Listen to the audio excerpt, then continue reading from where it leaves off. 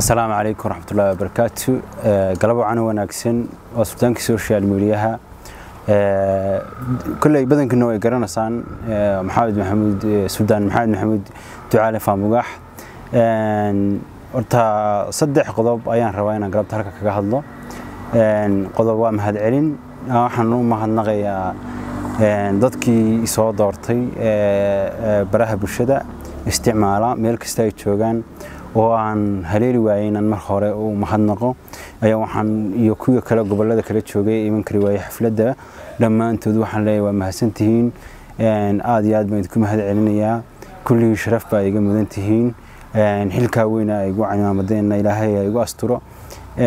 Intaa marka laga yimaado jiddaha labaad ee ka hadlaya waxa weeye maadaama aan ahay suldaankii social mediaha xaq bay igu tahay ama gar bay igu tahay wax kastoo social mediaha ku soo kordha inaan ka hadallo marka koowaad inagu waxay nahay dad islaama. Islaam haddaynu nahay inagu waxaynu ku dhisannahay diinta islaamka dhaqan iyo diinta islaamka ayaa nolosheena badrig u ah.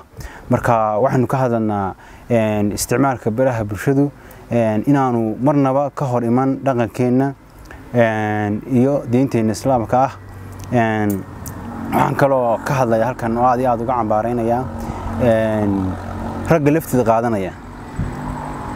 Ragga laftiga qaadanaya waa dhaqan xumo iyo wax inagu soo xumaanaya aan loo baahnayn maaha wax wanaagsan. Waa inay ka waantoobaan haddii ka waantoobi waayaanna sharci baanu ka qaban doonaa. Waxa weeye waxaan u sheegayaa qof kasta oo dhaqan xumo ka soo kordhiya baraha bulshada sidii hore maaha. Suldaan buu yeeshay waxaa wada hadal noo wada socdaa ninka facebooka leh iyo ninka tiktokta leh. Waxaa gaar ahaan wada noo socda mas'uuliyiintooda kala jooga meel kasta sida yurub africa kenya kuwa jooga kuwa baraga dhexe jooga. Inta wada baa noo socda. Meel kastay dadka soomaaliyeed ku nool yihiin baraabusha ku mas'uul baan ka ahay suldaan baan u ahay. Waxa weye wax allaala wixii dhaqan xumo ah social media lagu soo bandhigayo ma ogolin waana wax foolxun waxaan iyagana halkan bayaan uga dirayaa habliheenna quruxda badan ee soomaaliyeed. Inaanay sharaftooda ku ciyaarin inaanay wax foolxun aanay soo gudbin ama aan loo baahnayn. Insha allaahu waxa weeye suldaannimadaydu waxay caddaan doontaa qof kasta oo baraabushe wax khaldan soo geliya ama bost negative soo dhiga ama wax soo dhiga digniin baan u diri doonaa. Digniin baan u dirayaa iminkaba waan u dirayaa. Marka waxaan qof walba ku amrayaa inay wixii xun ay ka waantoobaan wixii dhaqan xumaa ay ka waantoobaan dadku social media isticmaalaa dad wanaagsan oo sharaf leh baa u badan laakiin wixii xun aanu iska dhaafno. Waxaan kaloo rabaa inaan iyadana aan ka hadlo waxaa ilaa xalay la buubuuninaya baraha bulshada dhex marisay inana dhaho sameeya qurux inantaasoo ka timi muqdisho. Inantaas runtii waa la xidhay ha la xidhe dad maogtay xun ama wax kale ka faa'iidaysanaya xadhigeedii si khaldan u faafiyey. Inantaa qaabka loogu xidhay haddaan idinka warramo ama qaabka xadhigeedu u dhacay waxa weeye iyadoo xilli dambe iyadoo dhalinyaro kale ay meel iska lugeynayaan baa ciidan roodaayo wareegaya ay iskulmeen ciidankii baa qabtay. Waxa weeye markaa iyadu inay gabadhaas la socotana uma cilaasanin umana beegsanayn laakiin dhalinyaro xilli dambe soconaysa ayay u qabteen. Dhalinyaraduna iyaguna waxay sameeyeen inay ciidankii u qabsoomi waayeen ama ay maqli waayeen. Sidaa darteed baa iyadoo dhalinyaradii la socotayba loo xidha. Marka markii dambe dhaqan baa lagu sameeyey waa la soo daayey. Iyadayna la gartay iyadii waxaa lagu amray inaanay waxa aan dhulkan ciidina ka xigin wax gaarana aan lagu haysan. Somalilandna meeshii doontay tegi kartaa xilligii doontana ka bixi kartaa waxaan arkay qaar le waxaa la yidhi saddex casho gudahood ku waa la taxriirayaa sidanaan la odhanayaa waa la tarxiilayaa sidanaan la odhanayaa waxa weye waxaa waxba kama jiraan qofkii social media haddaad isticmaasho waxa weeye inaad dhex ahaataa. Oo aanad magaalana maagin dowladna maagin meel walba adiga waa kuu siman tahay meelshaad doontaad dalxiis u bixi kartaa qof baraha bulshada isticmaalaad tahay. Marka wixii xumaana ama cid lagu maagayo waa inaad adigu ka madax bannaataa. Marka waxaan kaloo halkan iyana ka hadlayaa aan rabo inaan ka hadlo inanta la odhanayay mrs. Wall ee hargeysa laga celiyey horta runtii arrinkaa lagu celiyey kama xumaan. Sababtaa nagu xumaan waxa weeye waa qof caana baraha bulshada isticmaashaa waxa weeye iyadoo magaalada ku soo socota ama hargeysa ku soo socota ayay wax ka sheegtay.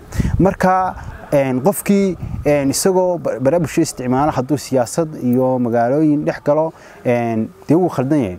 Runtii somalilan dadka shacabka soomaaliyeed meel kasta joogaan waa walaalo.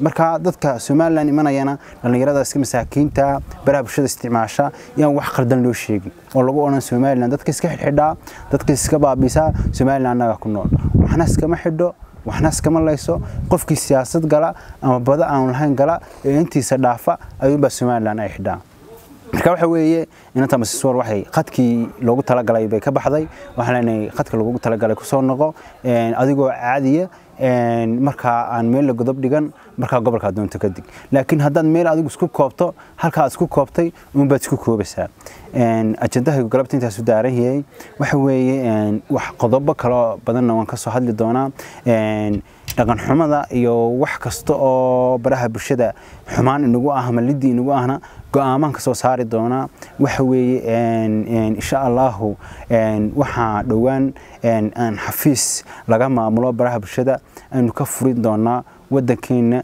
si aynu u kaantaroolno baraha bulshada ee faraha xun inagu haya ee sida khaldan looga faa'iidaysanayo halkan waxaan ugu dambeyn fariin u dirayaa qof kasta oo baraha bulshada isticmaala. Waxaan kuu sheegayaa qof dad islaama bay nahay dhaqankeenna ilaalino sharafteenna aan ilaalino waxa weeye siyaasad iyo waxa weeye dowlad midna yaan la dhexgelin yaanad ku dhex milimin ama siyaasadda ugo ama qof baraha bulshada isticmaala oo dhexa oo wixiisaas kaga mashquulsan noqo.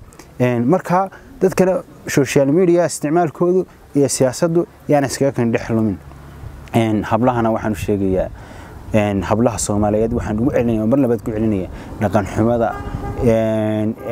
Hablaha qaarkood wadaan kulli sharaf baa leedihiin laakiin midhmidh tiktokta dhaqan xumo ka dhex wadaa way jirtaa. Taana waxbaynu ka qabananaa haddii ka dayn weydo diinteenu islaamkuna ma ogola bayaankaygu intaas ku daaran yahay. Waxaan kaloo idiin sheegayaa oo aad iyana ugu dardaarmaya ragga laftiga qaadanaya. Raggaa laftiga qaadanaya xooggaanu saari doonaa mar jiri doono rag dambe oo laftiga qaata iyo gabarh dambe lafti qaadata. Waana dhaqan xumo. Assalaamu calaykum waraxmatullahi wabarakaatu shirkaygu intaasuu ku daaran yahay galabta. Aad baan idiin salaama